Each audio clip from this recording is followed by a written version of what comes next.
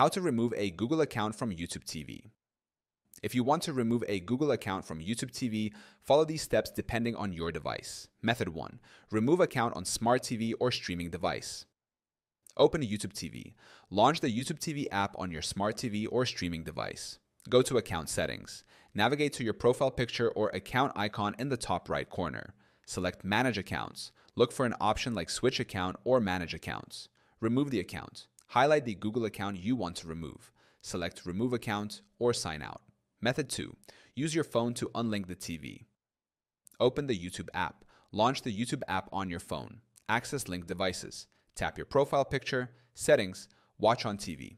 Unlink TV. Find the TV linked to your account and tap Remove or Unlink. Confirmation. Confirm the action and your account will no longer be linked to the TV. Method 3. Remove account via Google Account Settings. Go to Google Account Settings. Visit myaccount.google.com on a browser. Open Security Settings.